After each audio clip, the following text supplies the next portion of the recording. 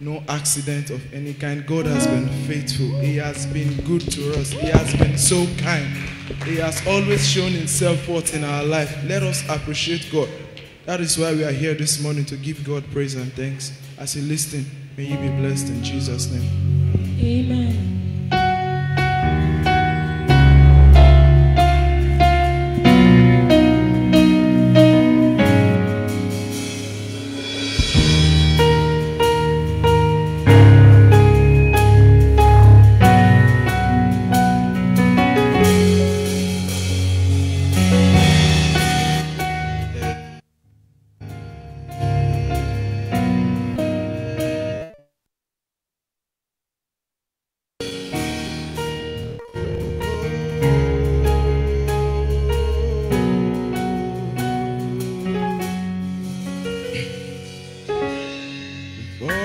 Spoke a word, you were singing over me.